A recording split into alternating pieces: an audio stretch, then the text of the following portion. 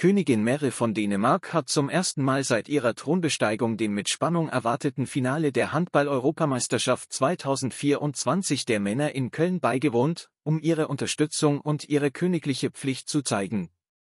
Das Spiel, ein nervenaufreibendes Duell zwischen Dänemark und Frankreich, zeigte den Höhepunkt des europäischen Handballs.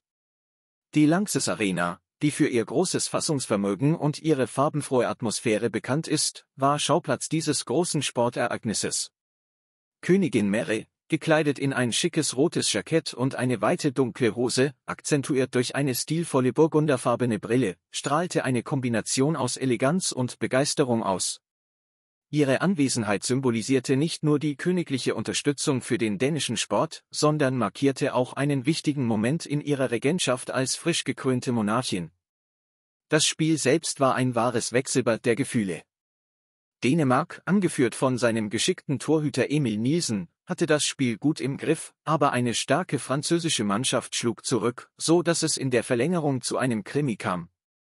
Am Ende siegte Frankreich mit 33, 31.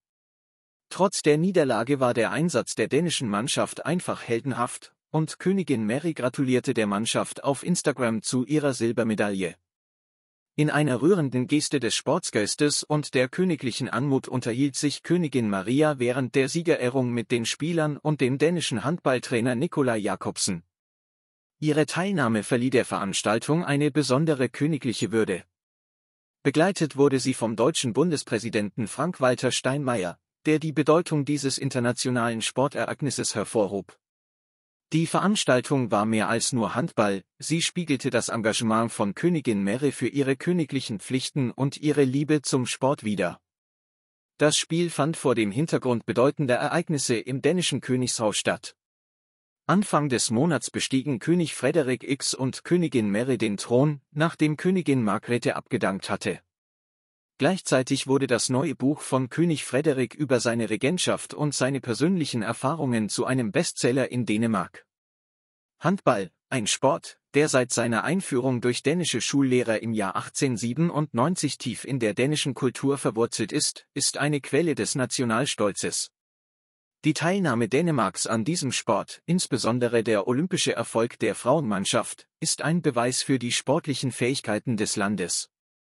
Die Anwesenheit von Königin Mary bei den Meisterschaften und ihre anschließende Interaktion mit der dänischen Mannschaft unterstrichen die Verbundenheit des Königshauses mit dem kulturellen und sportlichen Erbe des Landes.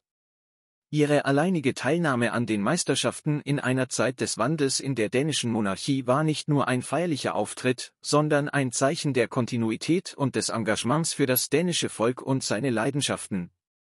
Jetzt, da Dänemark und die Welt sich auf künftige Sportereignisse freuen, ist die Anwesenheit von Königin Mary bei solchen Veranstaltungen eine Erinnerung an die einzigartige Verbindung von Königtum, Kultur und Sport. Ihre Anwesenheit bei der Handball-Europameisterschaft war ein starkes Symbol für diese Verbindung und ein Moment, der dem dänischen Volk noch lange in Erinnerung bleiben wird.